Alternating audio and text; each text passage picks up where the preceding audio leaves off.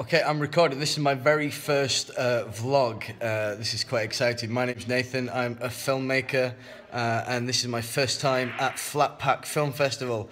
Uh, I went to see some short films. Um, it was the best thing uh, close, close, to an, to acid, acid, trip. trip. close to an acid trip. Without doing any drugs.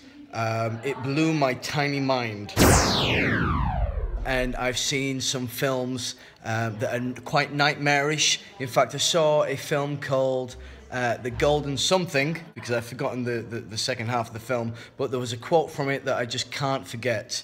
If you accept everything, then you become a monster. It was profound, it was deep, it was emotional, it, it was fantastic. Uh, I've had a great time at Flatpack and can't wait to do day two tomorrow.